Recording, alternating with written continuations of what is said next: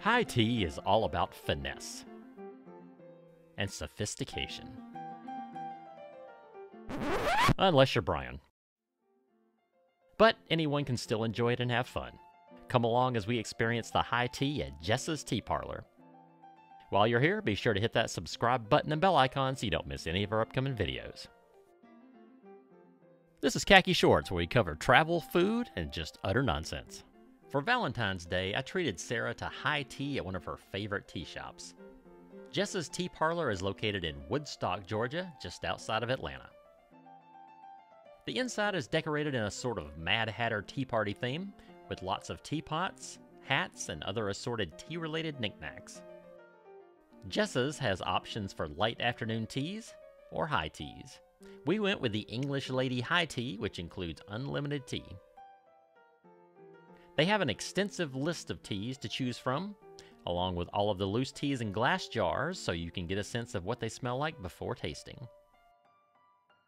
Sara went with their Buckingham Palace, which is a blend of Earl Grey and Jasmine. I tried something a little different with their Bourbon Street Vanilla Tea.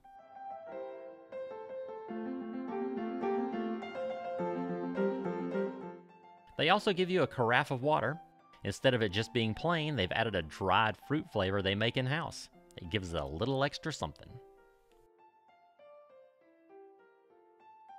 The first course is a soup or sandwich and salad.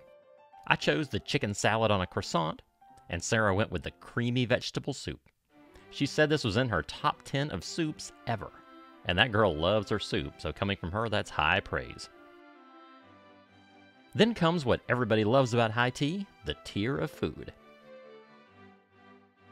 Everyone does it a bit different, but here the top layer is scones. The middle layer is finger sandwiches. And the bottom layer is desserts. Let's start at the top and work our way down. We had three different types of scones. I believe they were apricot, cherry, and a black currant. It also comes with some clotted cream and lemon curd to spread onto your scones.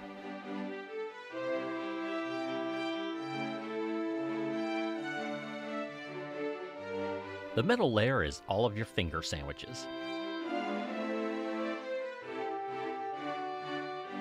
First up was egg salad with lettuce on white bread. I believe they had sprinkled paprika on the bread, gave a little something extra. Next was round cucumber sandwiches with capers on top, which Sara had a bit of trouble picking up with the tongs.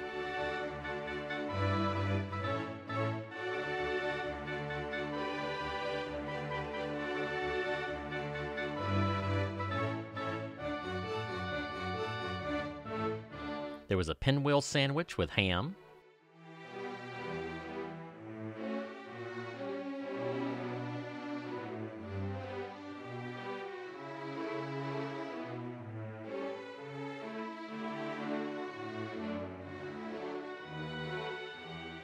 And finally, an open faced tuna fish sandwich. The bottom layer is my favorite part all the yummy desserts.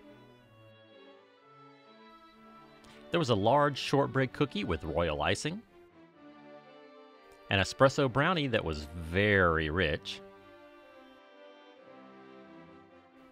strawberry cake with a molded red heart on top for Valentine's Day.